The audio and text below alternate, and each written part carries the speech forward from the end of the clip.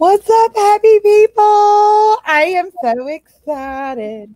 And not because today's topic is called Show Me the Money. I really wanted to do the best Tom Cruise today, but I couldn't. But I just want to tell y'all not only am I excited because we're talking about the money, but because one of our guest presenters today is like my favorite human being on the planet, like of all time. He is the bestest boss ever and mentor the Dr. Ray Foxworth, founder and president of Chiro Health USA. Did I mention he's kind of the man? And I'm not just saying that because he pays me to. I'm sure you are. and then we have our good friend, Don Rasmussen. He's here to talk to us about credits and loans and all kinds of fun stuff because he really is going to show us the money. And who in the world or how did we ever survive without a certified tax coach ever in our lives? Well, we don't have to find out much longer. So, ladies and gentlemen, welcome to the webinar. Thanks, Christy. I appreciate the uh, the info. The checks in the mail. Um, Don, I want to thank you for uh, taking the time to do this update. I know you're on multiple webinars a day, and I really appreciate all you guys are doing to try to help our profession. Uh, and I'll have to give kudos to Christy and Keith Esbell and our marketing team. Uh, we have thrown an awful lot of uh, information at them in a short period of time, and they've been awesome in helping put together these webinars and getting it out to the profession. And Don, I, you know, little did either of us know when we connected last year that we would be in this situation. And you know, I'm thankful for what sometimes we think are chance meetings, and perhaps they're really by design because you've certainly been able to to bring some peace of mind to, to me personally, and and I, I know it's helping others as well. And docs uh, that are joining us today, I want you to know that the information that we are bringing to you on this webinar series and the others that we've done last week and up this upcoming week, they're due to the fact that I'm in the exact same situation you are. I have 20 something employees between Chiro Health and, and my practices. And, you know, I'll, I'll just tell you, it's stressful. I feel the weight and the burden of not only providing for my family and taking care of us, but I truly feel responsible for the people that I have on payroll. You know, I, have often heard people say, uh, boy, it must be nice to own your own business. I said, yeah, it really is. Instead of us living from paycheck to paycheck, we live from payroll to payroll. and that's what Don's going to help us figure out today is how, how do we, uh, what are the updates from the material he covered last week and what do we need to do, know to get started? You know, this is stressful for all of us and we have to make a decision to either react to it or to respond to it. And so I congratulate you for being on the call because what you are doing is taking action. You're gathering information and you're going to take some next steps. We will continue to tap into the expertise of those that I've worked with. And basically, what I'm doing is I'm finding things that are helping me in my practice get through this, and we're doing our best to share them with uh, with the profession that's kind of our, our mantra at Chiro Health. We, we truly try to be the network that works for chiropractic. So, you know, there's a ton of information that's flying at us day by day. My mailboxes, my email boxes slam full. And what I hope to do today is to just kind of lay some basic steps, if you will. Where do you even begin? You hear about 7A, you hear about 7B, you hear about the CARES Act. You know, I, I sit down at my uh, Uh, kitchen island and I had all this stuff spread out. And it's like, where do I even begin? And so I began to kind of synthesize some of this. And I hope I've put it in a structure that will kind of give you some first steps and what you need to do first, what you need to do second. So, Christy, if you'll pull those slides up, we'll get started. so this is just kind of the, the stair stop stair step process that we need to be thinking about we need to look at, you can go ahead to the, to the next slide, Christy. We need to be looking at things that we can do immediately that don't require us to go outside of our own office and, and make some decisions. You need to consider minimizing some expenses. You know, I have weekly staff meetings and I usually buy lunch for the whole staff. Well, that's a nice to have, but it's not a gotta have. We use a linen service to take care of the towels and things and, and gowns in our office. That's a nice to have, but it's not a gotta have. So we're hmm. beginning to rethink some of those things and those expenses. I will encourage you to get in touch with your lenders. I can tell you that American Express, Visa, MasterCard, or most all of them are offering a 60 to 90 day uh, deferral without penalty or without harming your credit. For those of you that still have student loans, I had mine for 20 years and claimed it as a dependent, uh, actually, probably 25 years. Uh, we know that there's some some relief for you if you're involved if you do have student loans. So make sure that you reach out to those lend, uh, lenders as well. The main thing to do is stay in touch with your creditors. Kind of the next thing you can do before you look at some of the federal resources are what funds do you have access to now? And some of these are I'm not going to say they're good ideas, but they are, you know, when the when the wolf's at the door, you have to do what you have to do. So I know most of you have credit cards. You need to see what your advance options are on there, see if they will give you a lower rate if you have to do that. Um, I've looked at my life insurance, the cash value that's built up in that. While I certainly don't want to have to tap into it, what I'm trying to do is to look at what sources of revenue that I have out there or funds just in case. And I don't want to be in the middle of chaos trying to make those decisions. Um, and and so just look at your life insurance, look at your money market accounts if you have those. Um, look at your home equity. You know, I know that's not something I want to do or really anybody wants to do to stay afloat. But like I said, when the at the door, we've got to know where those resources are and what our options are. I also read something in Forbes just yesterday about the 401ks you can tap into those if you have anything left in it after the stock market uh, situation we're in, but they're relieving you of some of the penalties if you need to draw that down. And then I will I will have to say uh, one of my resources is NCMIC, and they have kind of a fast track uh, fast track loan program um, that is not necessarily collateralized. They can tell you all the details about that, but you know those are resources that you could be looking at. The next thing eh, that I found is the, the Paycheck Protection Program. That's the one they call 7A. To me, that's the most favorable that I've seen so far. Um, you do not have to have exhausted all your cash on hand or your, your funds to be able to obtain that. And it's probably one of the quicker models uh, or one of the quickest paths to revenue. Then there's the 7B, which is the economic uh, in, economic Give me give, give me the acronym, Don. Yeah, economic injury disaster loan. Yeah, I've seen more acronyms in the past few days. I think there's somebody that works for the government that their job is to come up with acronyms. They've done a heck of a job with it. Um, well, that that particular loan is also uh, directly from the SBA, and according to the National Federation of Independent Businesses, they say that can take three weeks to a month to be able to uh, tap into that. And then the, these are the very steps that I'm going through. And then ultimately, I absolutely am leaning on Don and his company to begin to help look at recouping some funds, some taxes that I've paid previously. But that's more to me a longer term process, something that I'm going to look at. Um, I mean, we can certainly, I'm starting to gather the information for that now because, you know, this assistance that we're going to get for a few months from the federal government it's only going to last so long. And so I want to begin to look at other resources that might be 30, 60, 90 days down the road or a little bit longer uh, just to help us out in case we're, you know, we're still struggling. So Don, my intention wasn't to, to go into the details of each of those programs. Since you covered this for a lot of the people on the call uh, a week ago, how about if you would hit it at a, at a high level on those? Because sure. some people are new to this and then provide any updates on those particular uh, loan programs and anything else you have to share with us.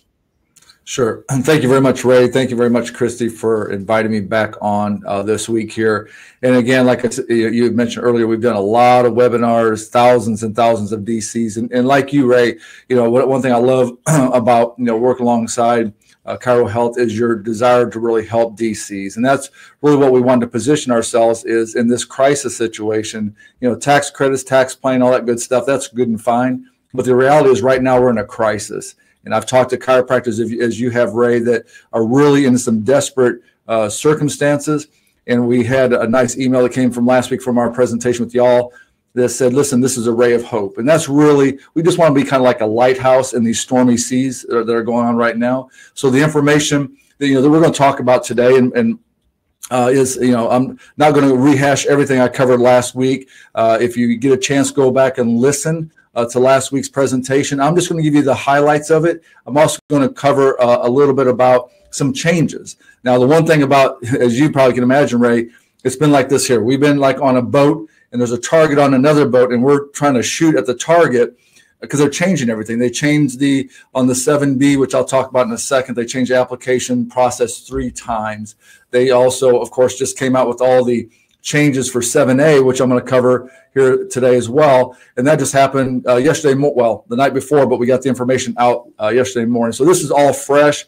Uh, we believe this is the last change uh, that's going to happen uh, until they come out with a, a, stimulus package, which I'll allude to a little bit later. So I did a podcast this morning for a group uh, that has exposure in a different, whole different industry. some good friends of mine, and you know some of the questions that kind of came up. The big one I hear over and over again is you know how do you prepare well you've hit it right on the head you know working with dcs over the years uh, i've had dcs who you know are very good uh, when it comes to keeping their expenses minimal i can think of a dc up in new york. Uh, my, talk about efficient probably one of the most efficient dcs i've ever met in my life. He keeps his expenses down in his practice and he's just a good steward. I mean that's all there is to it. And our tendency i think when, when we look at things were going so well i mean we had a bull market for 10 years and and things were you know kicking along and our practices were growing we're expanding or even we're just maintaining then all this a sudden this hit is you know now we got to kind of tighten things up and look and like you said whether that's the the, uh, the the lunches or whether that's the laundry service whatever i think it's a real opportunity for us to reset i mean kind of look at our practices even in our business here and say okay what's essential kind of like with this whole thing with the uh, covid-19 you know we have essential businesses and non-essential. So we have to determine what's essential in our life and what's non-essential. And I think that's uh, hitting it right on the head with the minimum expenses. I want to come back to um, the access to funds. So one of the things in 7A uh, that I don't believe I even covered last week was the whole issue of uh, IRAs and 401k. So the way the law stands right now is that you can access uh, your IRAs or 401ks. You can take a withdrawal out. So uh, historically, uh, and I've been doing this for a long, long 30 plus years, but uh, historically, if you took money out of an IRA and you're under 59 and a half or out of a 401k, and you took the withdrawal out, then you would have a, uh, a 10% penalty for doing so. So what they've done now is they said, we're going to waive that. You don't have to worry about a penalty. Uh, you can take that money out. And then, of course, what they also did is they actually gave some really neat ways for you to uh, well, let me back up. So when you generally take money out of an IRA, uh, it's all taxable in the year that you take it. So if you took, and this is up to $100,000 under this provision. So if you take $100,000 out of your IRA or 401k, it's all generally taxable in the year that you take it, which can pretty damaging when it comes to Uncle Sam getting his hand back in your pocketbook. But what they've done is they're going to allow you to def- to take that uh, and, and defer that tax over a three year period or split it up over three years. And then the second thing is historically you've always had to uh, repay it back within 60 days or it become a penalty and taxes and all that. Now they're giving you three years uh, to put it back up inside your IRA. Uh, you know, doing this as long as I have, the one thing I do know is that uh, I've never met anybody who said, "Man, I wish I would have uh, not saved so much money for retirement." But I've had a lot of people go the other direction, including DCs. And you know, the reality is, um, you know, that money is set aside. Make sure that you can get it back up in there because you're going to need it someday. Maybe, God forbid, we have another type of coronavirus that we're dealing with today, but it's good to have that in the future uh, someday when you get to retirement.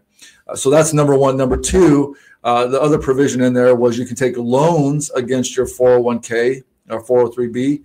A little bit different guidelines. So you can take a loan out of your 401k uh, if you have it there, and you can have a deferral of up to a year to start paying it back as far as the, the payment plan. Uh, you can access up to $100,000. It used to be capped out at 50,000. Now it's $100,000. So you can access that in your 401k and you can take out up to 100% of the account balance. It used to be 50%. So I use this illustration often. Let's say, for example, if you had $150,000 in your 401k, you could now you can take out up 100% or $100,000, whichever is less. Or if you had 95,000, you could take all of it out as a loan. Uh, so the good thing is that they're giving a lot of flexibility uh, for you to tap this cash, kind of like uh, what Ray was saying. Hey, Chris, if you don't mind, if you put that slide back up there, I want to make sure there was something else I wanted to cover, and you probably have it accessible easier than I do. And uh, thank you very much. Appreciate it. Uh, there was one other thing on that particular. Sorry about that. Uh, yeah. So again, uh, advances, like you said, there's zero percent uh, credit cards out there. This thing I was gonna say, make sure that you're, you know, creative. If you go to bankrate.com, you can go on there and look for zero percent uh, um, uh, credit cards. You know, do transfers or whatever the case is, and, and it's just about creativity during this time. And these things are still available out there. And like Ray was saying, you know, this is just where we're going to have to reevaluate how we've handled things in the past and just going forward and doing things different, differently. So back to 7A, I want to talk a little bit about that. That's the one that's in the news. That's the one that I want to really spend a, a lot of time on today. And that's 7A. That's the, the payroll protection program. And ultimately what that says in there, that they're going to help you in the payroll area. So uh, in a summary of what I covered last week, you're going to go back the last uh, 12 months. So generally, you're looking at a rolling 12 months. So that'd be February 1 to January 31st. Or uh, I've been told that they'll actually accept whatever happened in 2019 as that factor.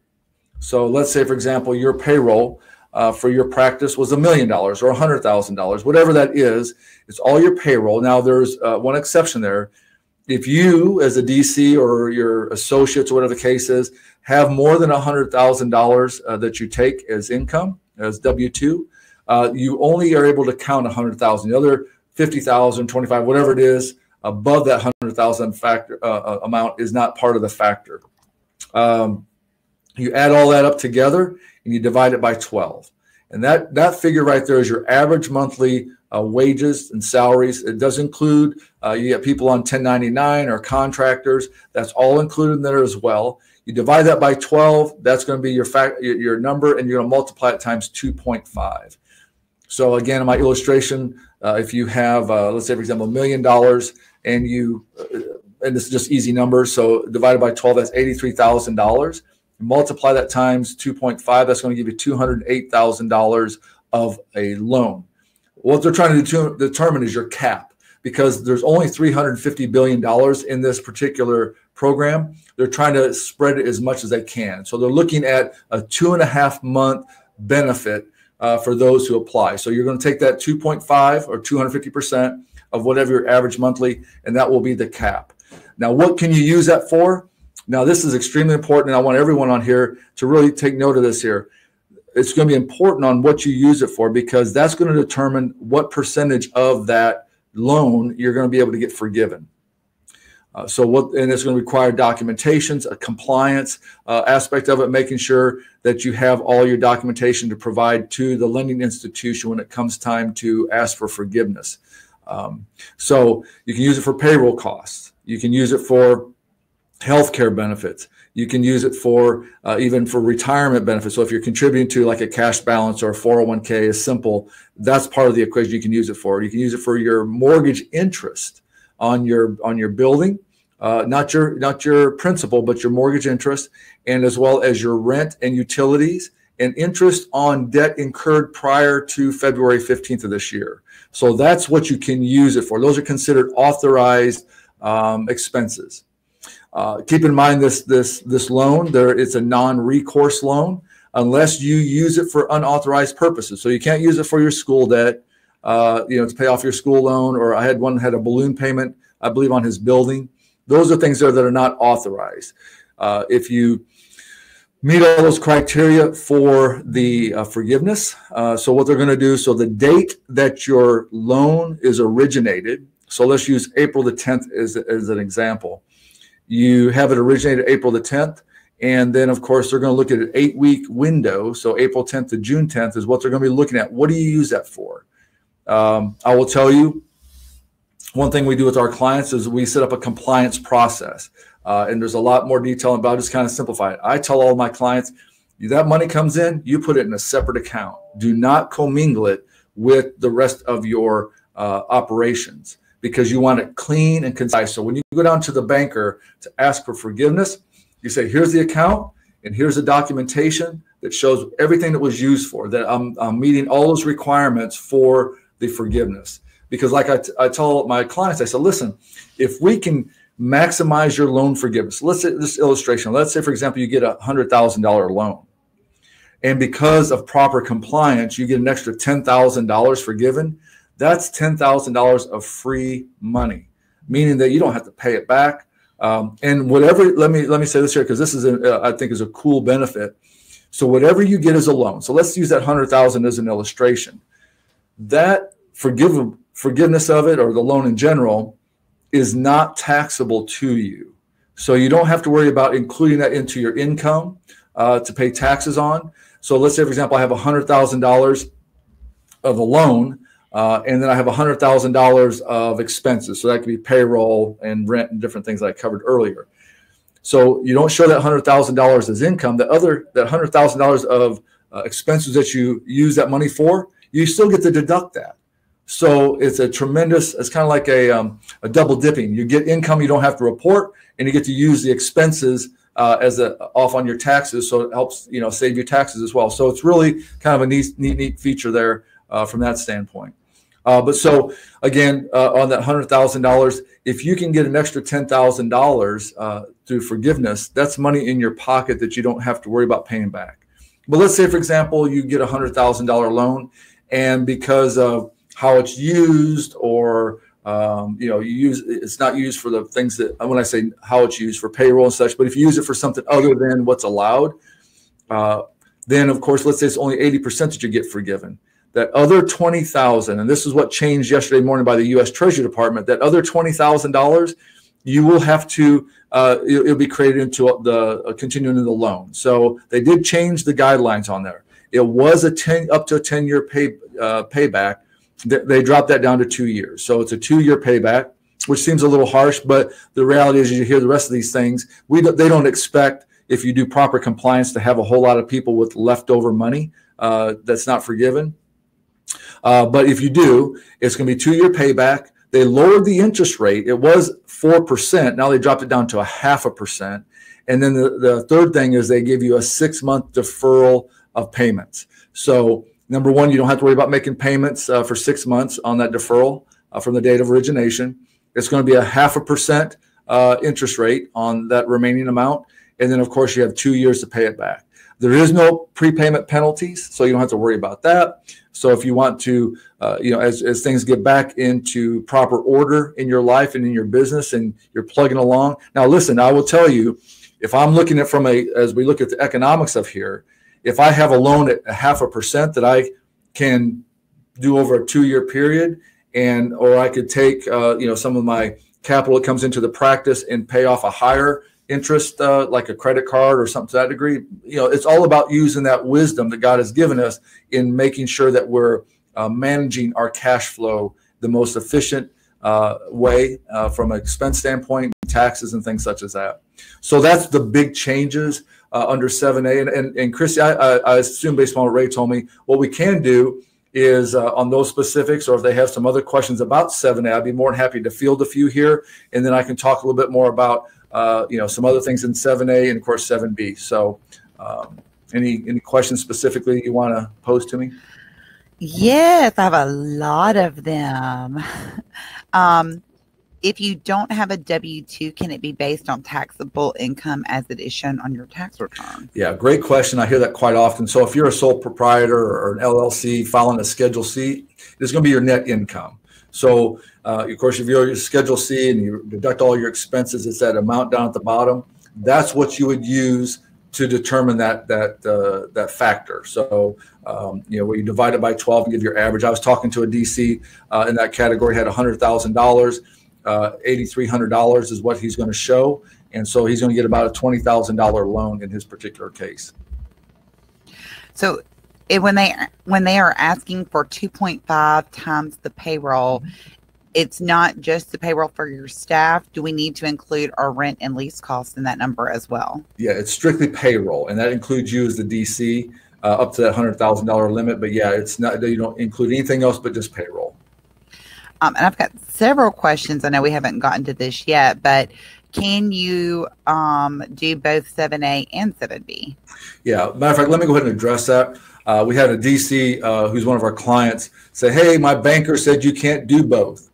That banker is wrong uh, because we've already looked at the code. We know what you can. Now, what you can't do, and matter of fact, we tell everybody apply for both. Uh, I'd rather you have it and not need it than need it not have it because the and, and I'll talk about some of the things that the NFIB put out, which was true historically, not so much today. Um, and I'm not here to contradict. I'm just saying this is just what we're finding out. But um, the the thing about it is, as long as you don't use that 7B, which is a working capital loan, for the same thing that you're taking claiming over on the 7A, you're going to be fine. So I would generally tell advise my clients, listen, let's use your payroll uh, and your your mortgage interest if you need to, and utilities and stuff over here. Everything else we put over here. Okay. Now again, they're looking at forgiveness on that eight week window. So uh, the reality is, and I'll just kind of jump ahead of here on that 7B. Historically, we, you know, we could get that money to you in about 30 days. Uh, right now, because of the influx, uh, because I'll tell you what kicked that off is that $10,000 comment. So under 7A, they get a provision that would float over to 7B. If you applied for 7B, they would allow you up to a $10,000, and I stress up to a $10,000 advance. Uh, well, first of all, uh, we don't know if it's going to be ten dollars or ten thousand, depending upon uh, your application, that initial application. Um, but when you do that, that's of course um, you know part of that provision. But everybody and their brother is trying to get that ten thousand dollars because that's quote unquote free money, even if you don't get approved for seven B. So there's been a huge, huge influx. So they're what we've heard back from SBA is they're probably looking at six weeks before they, uh, at the soonest, and probably eight weeks before that money comes in. So that's why I told my clients, listen, let's get you on to 7A. Get that. That's going to be your, your fast money, as I call it, uh, in, in the case of this pyramid. And then 7B is going to be down there uh, in, in probably eight weeks out the down the road. Uh, hopefully not much longer than that. So we're looking at two months. This is going to carry you over and get you through uh, that two months because again, that's an eight week window, uh, that, or actually two and a half months that they're trying to get you in uh, place there to kind of stabilize things. So that would be my suggestion is you definitely want to apply for both. Uh, and like I said, if you get the loan over on 7B, you don't have to use it. Because like I said earlier, you, it's better to have it, not need it. And you can always turn it back and say, no, I don't need it. And, and again, our expectation, our prayer is that everyone get back on their feet, you know, in the next month or two. We just don't know how long it's going to take for the people to come out of their homes and say, yeah, I'm going to get back to normal. Fortunately, with chiropractic care, you know, pain's still there. They're still going to need that pain management. Um, so hopefully that will be happen quickly for our DCs out there. But in general, you know, people are going to be. I'm, i think I call it a little bit um, uh, shell shock. You know, we've been so hammered, and there's so much fear out there. You know, it's interesting. I went to the store the other day. Uh, Ray and Christy. Then it's uh, or I'm taking. I went to get some dinner last night. I was up here till about midnight doing some recordings for some states, and uh, went over here to this this restaurant, and they have red marks everywhere, every six feet and so I get it. Uh, you know, that's just for safety and protection. Uh, but you know, it, it's it's a very fearful situation out there these days. So, anyways, Don, Don I have a couple of questions. Sure. I'm reading, um, and some of them are the very same questions I had asked you. So, I, I hopefully it'll be helpful to others. Absolutely. Uh, one one of the uh, docs asked if you have a a a locum tenens doc, meaning someone filling in for you, mm-hmm. or you have a uh, independent contractor doc and they're a 1099 employee, can you include that amount as your payroll?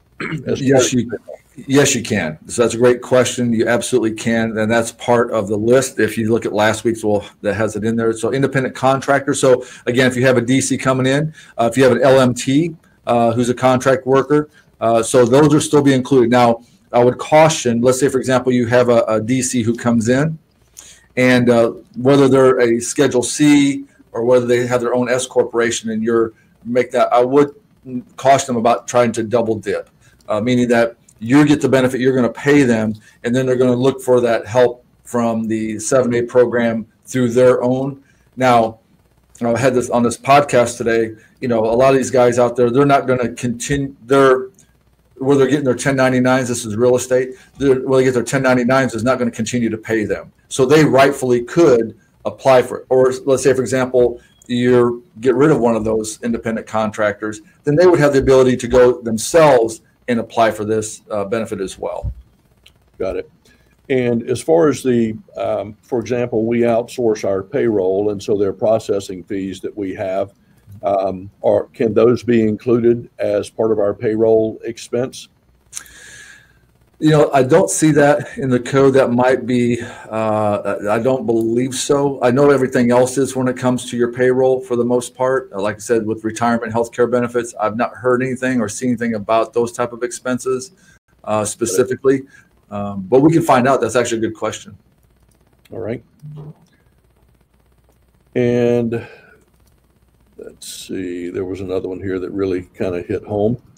Um, whenever you're calculating your your payroll expense, mm-hmm. should you just go off, say, take all of your W twos that you sent out and use the gross amount, or are we also able to include, you know, FICA, FUTA, state unemployment? Um, you mentioned the health insurance and the uh, any benefits that we might offer. Uh, but what about those taxes that I pay that are matching as an employer? Are those considered payroll expense? Yeah, so great, great, great question. So, um, yes and no. So, let's kind of walk through this here. So, you're still going to be doing payroll uh, and all that, but one part of that provision of 7A is the deferral of payroll taxes. So, for the first quarter as it stands right now, we expect uh, as this continues down the road that they're going to push it off into the second quarter to some degree. But they're going to allow you to defer your payroll taxes, which is huge, meaning that you know uh, you do the withholding, you got your FICA, you got their FICA uh, that you're having to send off to the government. You're not going to have to do that. Uh, uh, not right now. They're going to allow you to defer that. They're going to split it up over two years. So you're going to be able to push half of it. So let's say you, you have 50,000 or let, us say $20,000 in payroll taxes. I'm just trying to be uh, uh, conservative. So 10,000 of it would be due by December 31st of next year of 2021 by December 31st. And the other half would be due by December 31st of 2022. No interest and no penalties. Unheard okay. of. It's unprecedented, but it's, it's a good benefit. All right, but but and, and that that's good to know. But uh, maybe I'll phrase my question a little different. When I'm filling out the form for the PPP okay. loan, do I include FICA, FUTA, unemployment as part of my payroll expense that I'm going to multiply times 2.5? Yeah, it's just the gross wages. So it'd be your gross, gross amount. Wages. Yeah, yes, sir. Got it. Okay. Sorry, I, I got a little ahead of there. No problem. We, we've got tons of other questions, but I know you want to cover these other couple of levels here or stair steps. So why don't yeah, and, and I'm sure we'll have a little time at the end. We can come back and, and address any of these other questions. So let's talk about 7B. You know, as I mentioned before, um, that where I, I you know, when it comes to the information put out NFIB, that little sheet uh, Ray and I were looking at, and we'll provide. Well, I think you've already done so, but we have one as well uh, with uh, with the updated information. So uh, under 7B, that is a working capital loan. So 7A is done through a, a, lending institution, a bank, or you know some of the other groups out there. Um, uh, 7B is done directly to SBA. They have a, a site set up for for COVID 19 uh, at uh, .sba.gov, and so it is designed specifically to address this issue. And it is going to be funded by the U.S. Treasury. You don't go through a bank for this one here. Now, I think part of the confusion too is with the bankers is there's been a 7A program in, uh, around for a while, okay? Uh, but it's not the same one we're talking about today. This one specifically is a PPP, and that's where I think some of the, the conflict in their minds is you couldn't do both 7A and 7B under the old uh, guidelines. This is uh, totally new new rules, I guess the best way to put it. Uh, but some of the things that they have on there is that uh, three days. So uh, the three day thing that you hear about is not three days from the date you hit submit. It is three days from the date that the caseworker uh, reviews it. Okay. And that, that uh, I won't say approves it, but ultimately authorizes it. So it's three business days from that standpoint. What we don't know Oh, so when you go into seven into the SBA website, they have what they call initial application. And so what you're going to do is you're going to complete that information, pretty basic, not too difficult. Uh, you're just inputting information and then you're going to hit submit. That start gets you in the queue of, uh, of getting this process started. The reality is that's not the end. That's just the beginning. So um, the the other part of that is there's going to be a lot of supporting documentation because this is treated just like a regular loan rate. It's it's not like uh, the 7A where you know it, it's uh, been adjusted substantially. This one here still has a 640 credit or better. Uh, this is looking at you know having collateral. This is looking at all these different things. Well, they have to have all this documentation. Now, what they did do, based upon what we've seen so far, it used to be three years of tax returns, personal and corporate. Now they've dropped it down to only one year, which is extremely beneficial for us, for our clients that we work with, but also for those who are applying on their own because that's that's a lot of stuff to get together. So all that being said, is that uh, it, they've, they've loosened up a little bit, but it's still a, a full underwriting process. So let's say uh, you you get that uh, application in there, and let's say you get your grant. Let's say it's the whole ten thousand dollars, and like I said, that's going to be three days from once that caseworker reviews that and approves it. Then it's going to go into traditional underwriting. Right now, what we're hitting, heard, pardon me, hearing out of SBA is you're looking at uh, maybe six to eight weeks uh, for that process to to really run its course, just because of the demand. I mean, there's been there's over 10 million business owners out there all shooting for this. I don't care if they're DCs or a restaurant down the street. Everybody's going after this money. And so, you know, on the 7A, when I was talking about earlier, we talked to one of the lending institutions this morning, which is not a large one. They've got 7,500 applications in the queue. Uh, one of our DCs I talked to this morning in uh, Washington State said that uh, Wall, uh, pardon me, Wells Fargo reached out to him and they said, listen, we're just getting the information now. We'll put you on the list. And so this can, you know, that whole process, just getting an appointment uh, is going to be very interesting and getting those processed. But they do have a, a fast track in place for those because they need to get that money into your hands. And I refer 7A is kind of like this 7A is the adrenaline shot. So they have a, a, a, syringe of adrenaline. They're trying to give a shot to your business because you know, when I hear some of these DCs talking, I mean, there's a lot of despair out there. They just want to give you some juice for you and your employees. Because, like like uh, Ray was saying earlier, you know, you got your patients looking for it at you for guidance and direction. You got your uh, employees who are looking to you as well to say, okay, am I going to have a job? Am I going to be laid off? Am I going to be, you know, half pay? Am I ever going to have a job back again? I had a DC in Oregon say, you know what, I've laid everybody off. I'm going to just go be, uh, I'm not going to come back into business again. I'm just going to work for somebody. Well, you know, that those are the type of things that are questions in the employer's minds. And of course, your family is coming to you as well. So, you know, that's, that's the, the things we have to look at is when we're looking at this whole picture is making sure that we got all of our pieces in order. Now, going back to, uh, so that eight weeks is, is going to be a process. So I would say the 7A is that gap is going to get you two and a half months. And then your uh, 7B is going to continue you on further. So, anyways, that's what I just wanted to talk about that particular point in the uh, NFIB. Uh, what other questions you have, sir?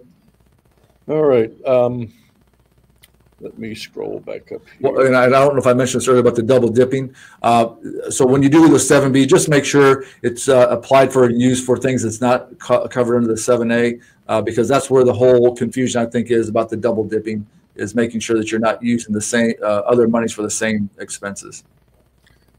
So uh, I have a question here. Can you do 7B and draw unemployment?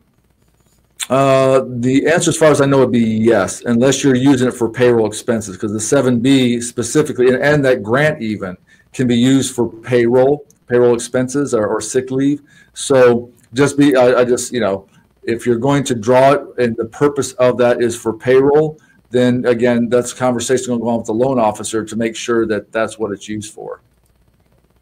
Okay. Um, I have a question. What if I've already paid all my payroll taxes, the 941s? Hmm. Is there a way to recoup that or just don't pay it for the next quarter or what, what would you advise? Yeah, that's that's actually a great question. I've not heard that that one come up yet.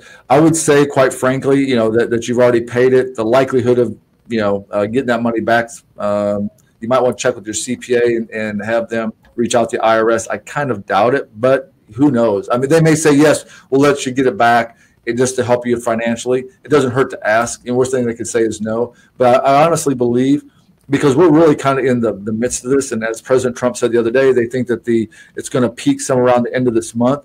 Well, that's a whole nother month into this quarter and then just the trickle down process. So I would not be uh, surprised if they come back and say they're going to extend it to the second quarter. Now, of course, I can't guarantee that, but I think that's pro- highly likely.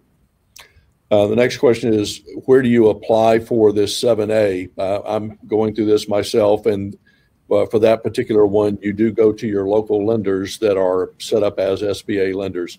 If you need that information, you can go to sba.gov to see a, a, list of uh, 7A lenders. Yeah, Uh, and- and on that note too, I'll just let you know that uh, we've developed a relationship with the second largest uh, uh, SBA lender in the country. Uh, And, and so we're trying to make it for those who want to utilize us, we can do a turnkey. Now, if you do use us, I'll just let you know this here. If you use another banker, well, that's fine. You know, we don't really care. If you have someone specifically, we'll package everything up that they need because we'll already have it to do your 7B and we'll get it over to them. Uh, and then, of course, we'll assist in the compliance part. But yeah, you go to your, if you want to use your local bank, go right ahead.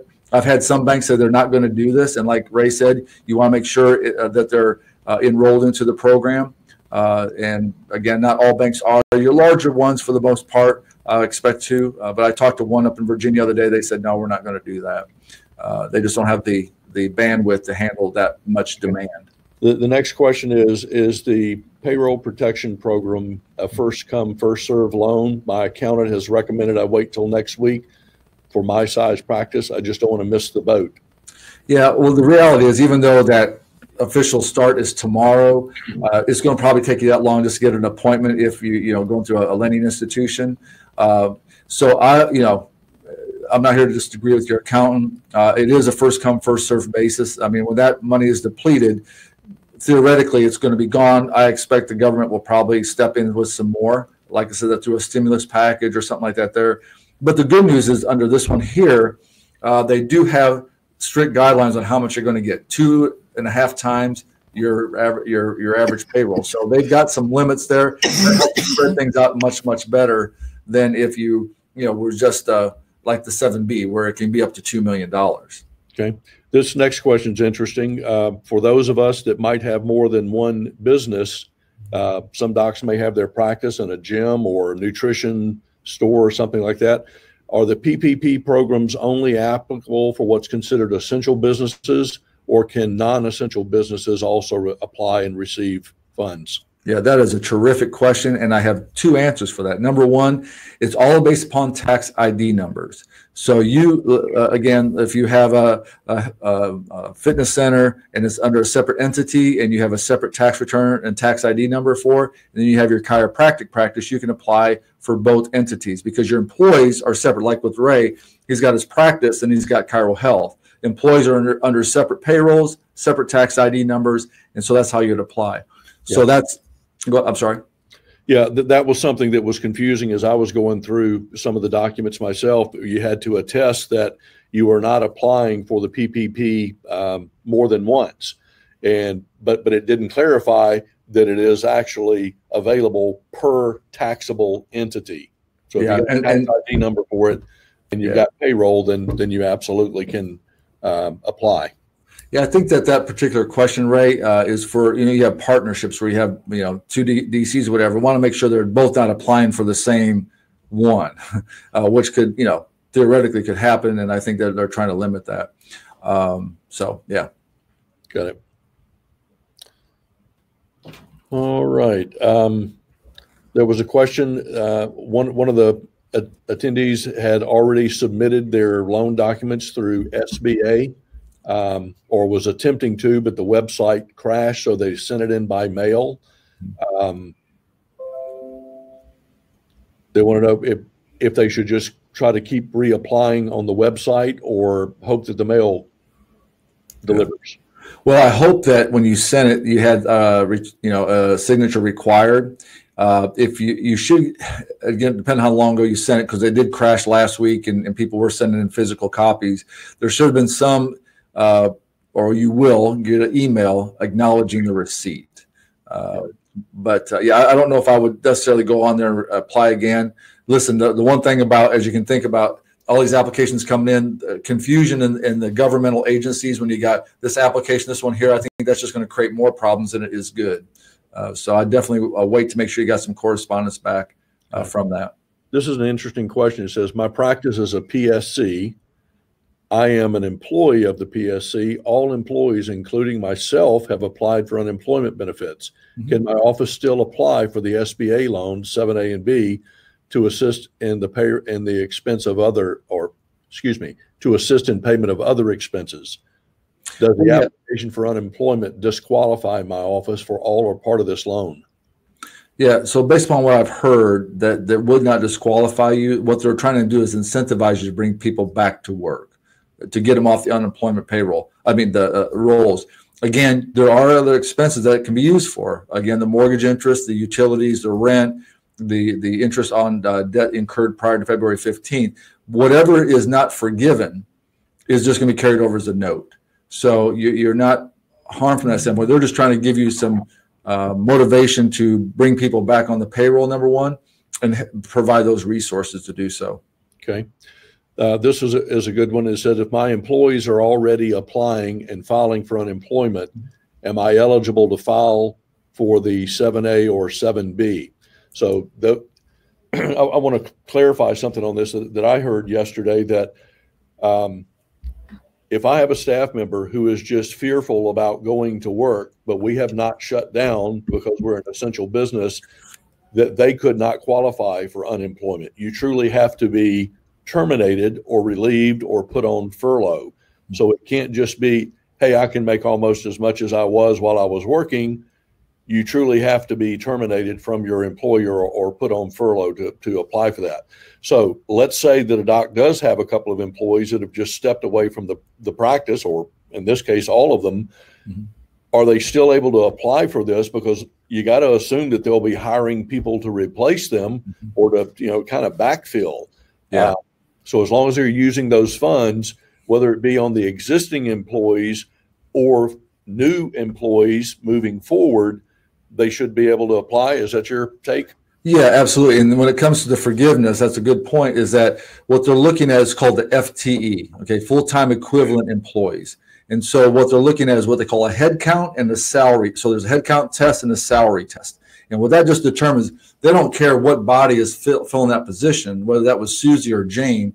It's ultimately that you have someone in there because again, you might have somebody who says, "Listen, I don't want to come back," you know, for whatever reason, and you find you know someone else to take that position. That's what they're looking for. Is under that testing is based upon headcount and salaries. Got it. Good question though. All right, let's see. Says if I own the building and rent to my clinic, which is a separate company, am I able to use that rent as a forgivable expense? Yes, you absolutely can, uh, and that's pretty common with the DCs who own their buildings. So let's say your rent is, you know, five thousand dollars a month, and that's what you have a history. So, and I'll explain that why I'm saying that in a second. But you have a history of paying that five thousand, then that can be used under that that uh, triple P program. So I had one DC said, "Well, listen, you know, I haven't. This is just an accounting uh, uh, snafu. They should have done this a long time ago, but they don't show. They're not charging themselves rent, is what they're not doing. And so what they've been doing is just paying the pay uh, the property taxes and things like that. There, unfortunately, you kind of shortchange yourself under this scenario. You can't go back and change it, and also you, you need to make sure that if you haven't already done so, even though you might show the track record, you're going to need a lease agreement that's dated prior to February 15th. Absolutely. You know, I, I was uh, listening in on a webinar uh, done by some of our friends, uh, Dr. Dave Nybauer and um, Larry Markson and, and se- several others. And I really liked one of the things they said that you need to make a decision to come out of this better than when you went into it. And whether that's on your relationships, your finances, your just every, your health, exercise, um, and you know, and, and I try to do a good job in keeping our numbers straight and that type thing. But I will tell you, I, I have come across things like, oh my gosh, that's going to hurt me because I didn't do it the proper way. So that was one of the questions that popped up earlier. A doc has his practice, he leases his building to the practice, but he never really put a, a, a an actual lease agreement in place.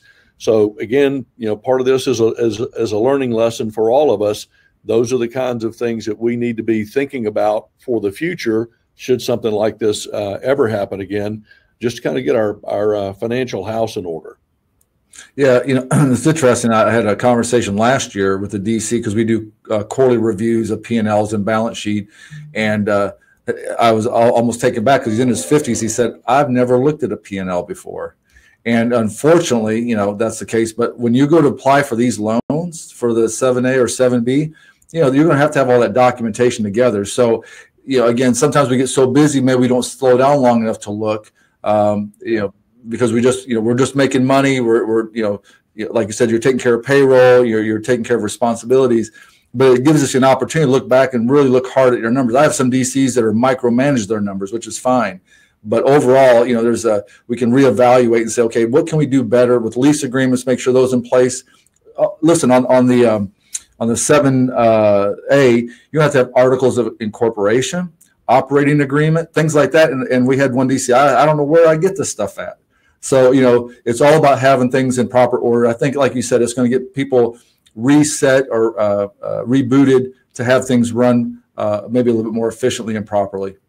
Yeah, if, if you're on this call and you think P and L stands for pizza and linguine, you might want to call Don. Just um, this is an interesting question for state associations that are nonprofit. Can they apply for the payroll protection? You can actually. I believe I, I received that email maybe yesterday. You can again. It's 501c3. Uh, so as long as you're nonprofit and you're operating a, a business there, uh, it's there's no. I mean, I have churches that doing it, so it that applies. This is a, a, really interesting question. He said, I have a 10 month old practice with about 10,000 a month overhead and not profitable as of yet. Mm-hmm. Am I still el- eligible to apply for any loan or money? Yeah, 7A specifically. 7B, you're probably going to be, because number one, your track record that you're still running in the red, they're going to be concerned about your ability to, to repay it. Uh, but 7A, that's not even uh, part of the equation. They're looking at payroll specifically. This is another one that um, came to me privately, not not on on this webinar, but um, unfortunately, there may be some docs um, that are behind on their taxes, their 941s, 940s, or maybe even personal taxes. Have you seen anything in these programs that would preclude someone that is in arrears to the IRS from being able to apply? Yeah, so I will tell you that if you don't have a sometime uh, an agreement set up and that you're in a payment plan, it is going to create some challenges. Um, that's even on school loans and stuff like that. There, if you're owe money to the federal government and you don't have a, a payment plan in place, it is going to impair you from doing so. Uh, now, um, when it comes to these, uh, the paycheck, the, the, I'm sorry, not the paycheck, but the rebate program where you're going to get the $2,400 if you're under, uh, if, uh, if, you're married filing jointly, uh, that there in itself does not go towards that debt. That is going to come to you if you, again, there's a phase out and some things I'll cover here in a second, but that there is not, does not go toward your, your uh, debt. So you will get that money. All right. There is one other question here that, that I think is may affect a lot of people. Uh, it says for S corps that take both a W two salary distribution and distribution, are the distributions eligible under the PPP or just the W two salary? And let me pause for a second before you answer that. Um, that's a situation that I am in as well, and if you're looking at your salary, if it's over a hundred thousand dollars, it doesn't really matter what your distribution is. If your salary is already at a hundred, the most we can claim is a hundred thousand dollars. So uh, yeah. I'll let you give your two cents on that, Don. Yeah, absolutely. So it's all about your W two. So your K one on your S corporation is not included, and they're going to be looking at reasonable compensation. So, um, and again, I would love to to be able to uh, get down to the details of this here. But one thing we look at when we look at DCs is, you know, what's your reasonable compensation? We're hoping that the IRS um, will base it upon what you're taking as W-2 wages, which is our assumption based upon every, we really want to streamline this. So they're not going to get in deep in the weeds. But when you go over to 7B, they may uh, look at your, your compensation you're taking uh, differently. Uh, so I, I, saw DC, this has been last year, maybe two years ago, and he made $340,000 a year and he was taking 34,000 as a W-2 wage. Well, two things, you're right for an audit and number two is right now, if you're in that scenario, you've just shot yourself in the foot um, because you just minimize how much you're going to be able to get in this loan. Got it. Okay. We'll pause the questions and, and let you get to the other segments. We're okay. kind of running up on, on our uh, timeline here. Yeah. So um, uh, while you're popping back over that screen here, I'll just take it real on the uh, going back to the uh, the paycheck rebate program. It is twenty four hundred for married filing jointly. It's twelve hundred dollars uh, for a single. Now the criteria is seventy five thousand dollars is for a single, And if you hit $75,000 or less, you're going to get the full 1200 if you're single. If you're under 150,000 married filing jointly under 150, you're going to get the full $2,400. Uh, um, what will change is what they call the phase out. So from 150 to 198, it's going to phase out. And once you hit 198 of AGI, you're not going to get it. So it's $5 for every $100 above that, that floor, which is 150 all the way up to 198, and then it goes runs from 75 to 99 on the single. So just keep that in mind. Um, and also, if you have children that are qualified for the child tax credit on your normal tax return, you're going to get $500 per child. So that could be another almost $4,000 in your pocket, which maybe compared to normal is not a whole lot of money, but you know, $4,000 is $4,000. So just put that, uh, so that's, gonna, that's your employees, your patients, and yourself as well. Yeah. So Donna, is that something that they have to proactively apply for, or they're just going to get that based on their tax returns to the IRS? Yeah. So you don't have to do anything if you file taxes. Then uh, in uh, 2019, they'll make sure see how you qualify based upon AGI. If you haven't filed 2019 personal, it's going to go to your 2018, and that's what they'll determine whether you're eligible uh, of how much. Okay. Well, it looks like we've got about four minutes left. Uh, is, was there anything else you needed to, to touch on, Don? Yeah, I'll just uh, real briefly about the, the tax credits, tax rebates. So once we get through this crisis, uh, the one thing that we do is we work with DCs around the country on identifying tax credits that they should have been able to take taken advantage of, but 99% of them have never done it because most CPAs are not familiar with it. Uh, and we get those back as rebates uh, that actually come back in checks to our DCs. We've seen as much as, or, or pardon me, as little as fifteen thousand for that three-year period, as much as one hundred and fifty thousand for that three-year period. But this is money that you're entitled to. But it takes, you know, once we go through the process and have our team look review it, you're looking at probably about three months. So this would be kind of as his pyramid there. That would be the last thing. But you know, once we get through the the head of this crisis, we would definitely want to take advantage of having an analysis done because most DCs don't think they do research and development, uh, Ray. You know, and that every time you do a care plan, every time you do treatment, uh, but we get uh, research and development and also domestic production credits, uh, pretty significant. So I just want to put that bug in your ear that once we get sure. to this crisis, you know, feel free to reach out to us. We'd be more than happy to give you some direction on that. We actually did a webinar on there, and I believe that's uh, probably up in the the vault is or whatever y'all call it there. So right. Yeah, and, and, I would like to remind everybody on the call that the, the webinar that we did last week with Don, that is archived on our website, as well as several others. And um, Christy, you want to tell them a little bit about the webinar that's coming up uh, right after this? I would love to. So a lot of y'all are asking questions about employment law. Oh, wait, my camera's not on. Nope. There you go. Hi. Um, so y'all, a lot of y'all are asking the questions about uh, our new responsibilities under FMLA, things that we have not had to address before. Um, if you had less than 500 employees, and so we actually have an employment um, law attorney who's going to be on our webinar that's on in one hour.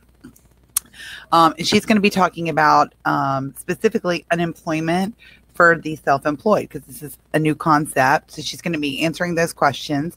Last week, she and her colleagues answered a lot of those FMLA questions. We still had over 100 questions that we did not get to in the live presentation. So next week, they're going to do um, a Q&A session um, to answer all of those questions that you have. So here's what we have coming up next. Erica Reb is going to be here talking about unemployment expansion. Next week, we are going to dig down into the nitty gritty of telehealth. And then we're going to do a follow up on last week's What Employers Need to Know about the Families First Coronavirus Response Act. Also, a lot of y'all are make sure you're going in there. When you click on more info, you're going to have to register, but it's going to take you right, right into the webinar webinar recording. And just under the chat box, you can download handouts and things like that. All right.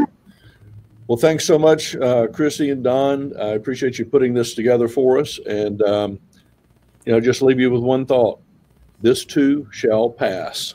Yes, Y'all have a great day. Yes, thank you very much.